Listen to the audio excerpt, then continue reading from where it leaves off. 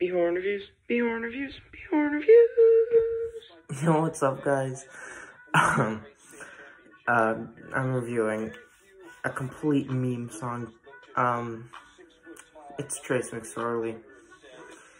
Um, I'm gonna be honest. I hate Penn State.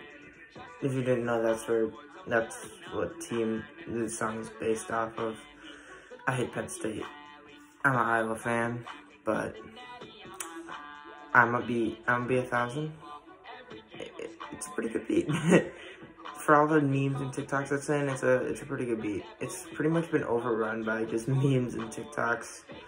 If you didn't know, he plays third string for the Ravens, but it, it, it's honestly just a really good song that just turned into a meme.